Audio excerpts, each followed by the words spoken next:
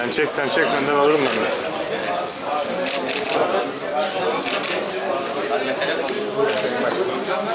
Başkanımız,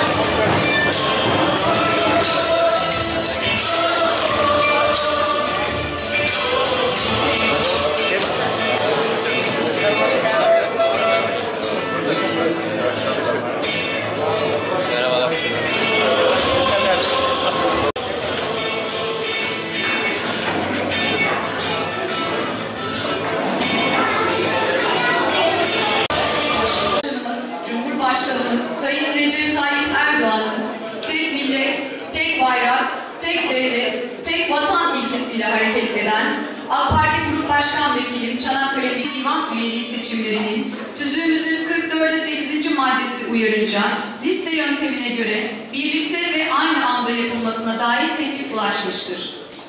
Teklifi yüksek müsaadelerinizle arz ediyorum. AK İl Gençlik Kolları Başkan Yardımcısı, Canan Aydemir, İl Gençlik Kolları Yönetim Kurulu Üyesi, Selin İliç, İl Gençlik Kolları Artık bu ülkede hiçbir şey eksik olmayacak. Darbe yapmak isteyen, bizi içine karıştırmak isteyen, başka örgütlerin uzantısı olanlara asla bu net prim vermeyecek. Biz 15 yıldan beri adalet diyoruz. 15 yıldan beri insanların mezhebiyle, diniyle, giyimiyle, tarzıyla, okuluyla uğraşmayın diyoruz. Ben imam hatip mezunuyum.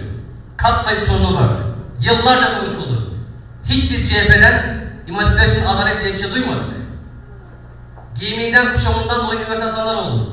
Hiç biz CHP'den şimdiye kadar adalet diye bir yaklaşım duymadık. Aksine mecliste MHP ile AK Parti beraber kanun teklif verdi. Bunu Anayasa Mahkemesi iptal etti, dava açtı. Kat sayısı öyle diğer meseleler dedi. Örnekleri çoğaltabilirim.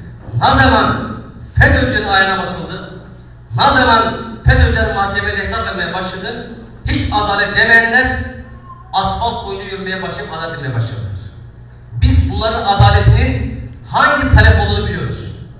Benim derdime adalet istemeyen, bu milletin dertlerine yıllardan beri adalet istemeyenlerin FETÖ'yle ilgili mücadeleden sonra adalet demeleri ibretlik mesele.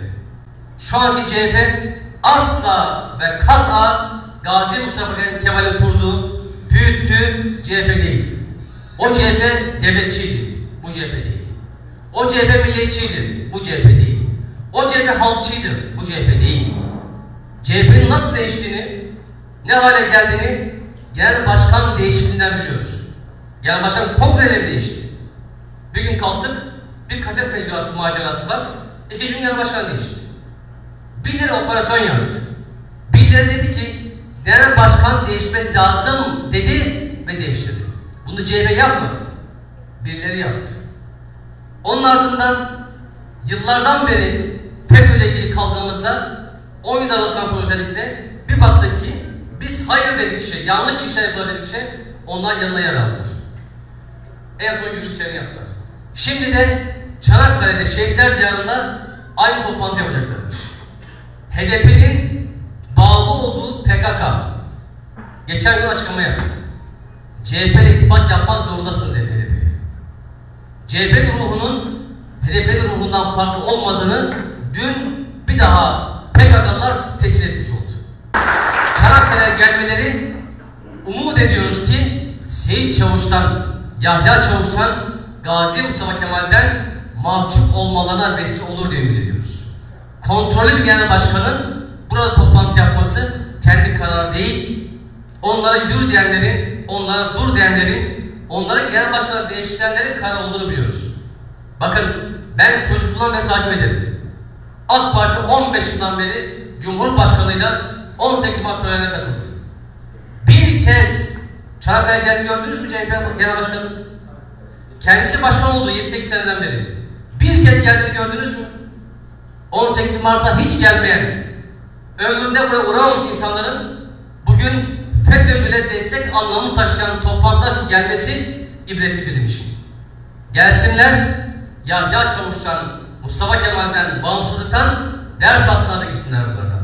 Onların kimlere bağlı olduğunu biliyoruz.